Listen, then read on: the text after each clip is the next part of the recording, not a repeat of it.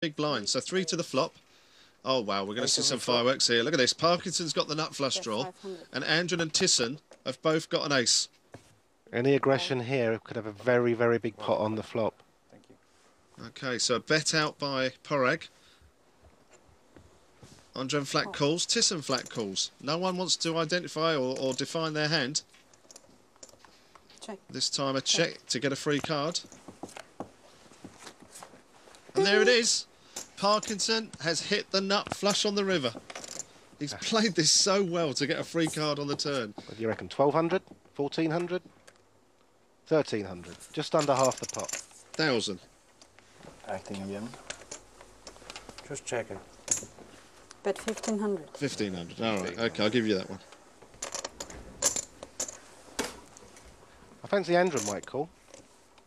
If Andren calls, I'm not so sure about Thyssen. Andren's going to be kicking himself not re-raising before the flop here, I think.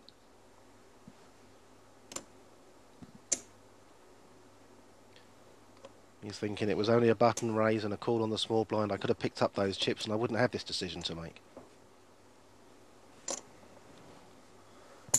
Call. Wow, he's made the call. The reason he got the call here is because Padraig bet out on the flop.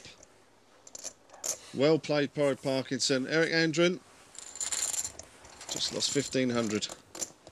He might kick himself a little bit there, Andren, the way he played that one. Say hello to your friends in the comments. Yeah, what a Hi, Jesse. contrast we have on this table tonight, Joe. Late night poker stalwarts, Craig Parkinson, Michael Keiner, current top pros Roland de Wolfe and Mark Goodwin, alongside two of the new breed online qualifiers, Eric Andren and Marion Tisson. Fascinating stuff. Looking at our early chip leader, Parkinson. Don't let up. Have you replaced Gold Clough as uh, the raise, please? Raise to 525. Raises it up, 525. Online qualifier in second position. Call. Flat calls here. Flat calls with ace king. Does Michael want to gamble his hand here? Well, he's got queen nine suited. Been uh, small raise, a flat call. Got one player behind him, de Wolfe.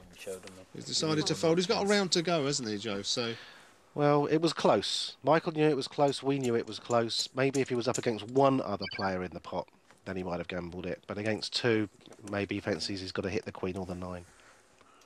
uh, all thought about calling. He's getting four to one there, with potentially two live cards. But we're just going to see two players on this flop. Ace King of Andren against eight Deuce of Parkinson. Parkinson was the pre-flop raiser. He's going to do a continuation bet here. Pot's 1350. Relax, We've seen relax. aggression from the Swede before. If Padraig does bet, it's not impossible he'll raise. Bet 650. He's on the button, the Swede. He's thinking, what did Parkinson raise with? A pair, big cards? Is my ace king good?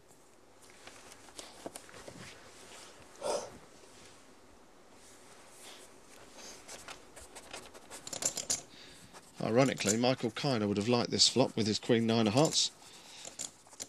Two overcards and a flush draw, but he folded. He would have gone favourite to win the hand, actually, Michael, on that flop. Might, might be a full-time job in a couple of years. Always got to remember as well, Joe, the one player you don't want to take on is the player that can bust you. Andren's in good shape here. He's clear second chip leader.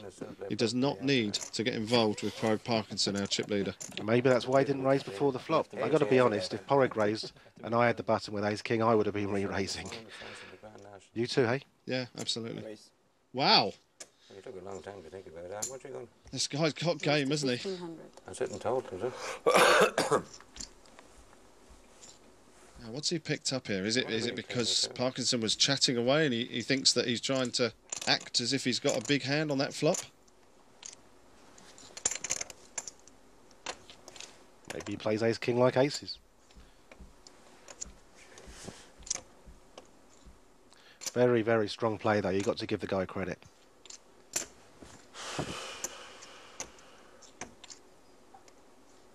The only thing I can think here is that uh, He's thinking of calling and then taking the pot if a flush comes on the turn. And he's folded. Yeah, that's not a surprise, is it? Want to see him? Yeah, we want to see them. Yeah. Show us one.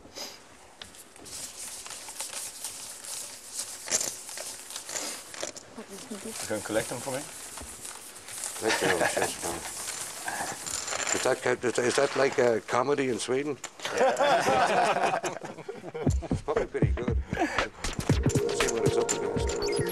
I've never been played uh, any of the plays before. I looked at them at, uh, on TV, of course, but uh, and studied them on internet, but never played them before. But uh, I'm looking forward to it. So all the pros I read about them and uh, seen them, see them on TV. So uh, they're good players, of course.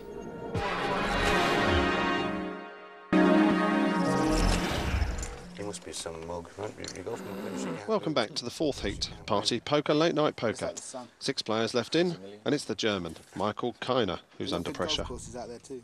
Very next hand, Michael Keiner will be on the big blind. Will he even look at his hand this time, or will he just move in? Here we go. Well done, Joe. You called it spot on. First position, Michael Keiner, all in. Queen six of diamonds. He won't be disappointed with the Queen Six of Diamonds. Oh, Tisson's thinking, and that's why. He's got ace eight of spades. Now, how would you play this, Joe? Do you flat call or do you re-raise to get it heads up? Well, you got, you've still got three players behind you. You know, Or it's- do you fold? well, it's expensive to call. Call. And if he calls and someone raises behind, he's got, he's got to throw chips away. Ace Jack's a little bit more easy, and there's fewer players behind um, Mark Goodwin. Done. Maybe I need a triple up. Okay, so here we are. Michael Keiner, he's all in. 725 with Queen six of diamonds. Mark Goodwin has the best hand at the moment. Ace Jack off suit. Spades. Come on, baby. Up comes queen, check, ace. Ah. He's in a tough spot now. He needs a queen. Queens. Or running diamonds might do it. Mark Goodwin has flopped two pair. Okay. Four is no help. so No help on the turn. Just a to now. queen, or we're going to lose Michael Keiner, another of the late night poker stalwarts. He's. And he's gone. Have fun doing it. Michael See. Keiner from Germany. I was considering to come to your He's left us. January, but now Never got any leave. luck. Nothing worked for him tonight. He doesn't seem too concerned about it, Michael. Smile on his face. He's been here before. Obviously, he'll be disappointed. Late night poker's always a little bit special to the people that have been here from the beginning. I think uh, Padraig is pretty much in form right now, so uh, so uh, he's for me is the favorite to win the heat. Yeah.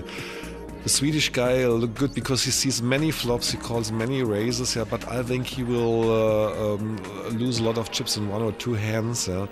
Roland is very focused. Um, I personally think it's uh, something between Roland and uh, but my favorite is Padraig. So here we are, five players left. The winner of this heat goes through to the final. The runner-up plays the semi-final. It's a total prize pool of $335,000 and the winner and champion of late night poker will take home $125,000. At the moment, your chip leader, Padraig Parkinson. Our online qualifier from Germany, Thyssen raises it up with a pair of jacks. All right. And, and Mark Goodwin's Mark Goodwin's re-raising, ace eight suited.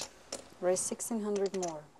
This is where Mark is trying to use his table image. Everyone knows he's played the fewest hands. It's the first re-raise. I think it's the first re-raise that he's made before the flop. The thing is, though, two jacks does look. It's you know, it's it's a picture pair. Um, will Thyssen flat call? Will he re-raise? I want to bet odds on a flat call here from Thyssen for the re-raise. All right, I'll, I'll bet he moves in. It's tough. If it was somebody else, maybe. But I think against Mark, if he's been watching how many hands Mark's been playing, you know, it's 1600, there's still play. Doesn't flop an ace or a king, then move all in.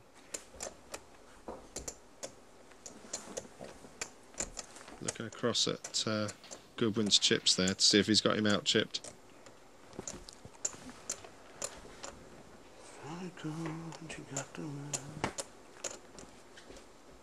It's a great set. folded.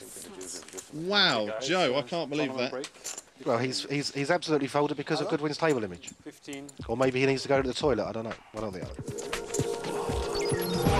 Players to